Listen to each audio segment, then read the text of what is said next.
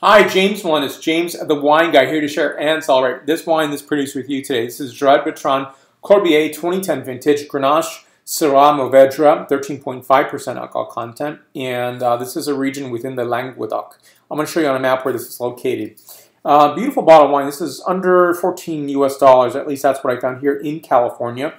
And uh, to show you this uh, great influence of this region, which is closer to the Mediterranean, you're going to get more of that coastal influence and uh, water influence. So here is all these regions are part of the Languedoc, and this uh, region here is the Corbières.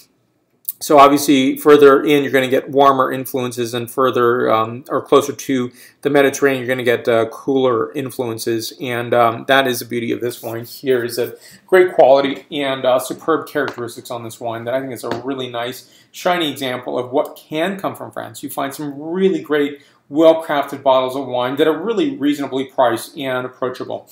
And um, huge fan of GSM. I think it's a marriage of three uh, varieties that just really can come together in a really nicely well done bottling. And um, I, have had some that aren't so good, but this is a really refined, great quality bottle of wine. So here we go. Take a taste of this wine and tell you what it's like.